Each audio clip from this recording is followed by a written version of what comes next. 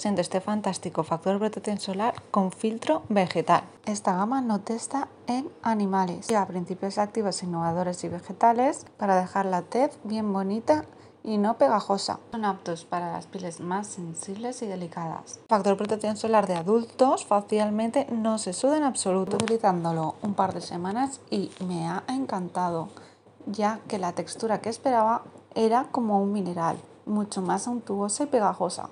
Y al contrario, se deja un brillo superficial muy muy bonito.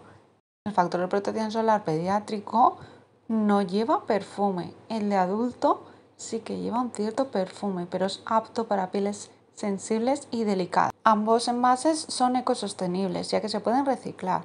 Aquí podéis ver en diferentes manos el resultado según el factor de protección solar, KIPS o el de adultos. Es importante que sepáis también que es resistente al agua.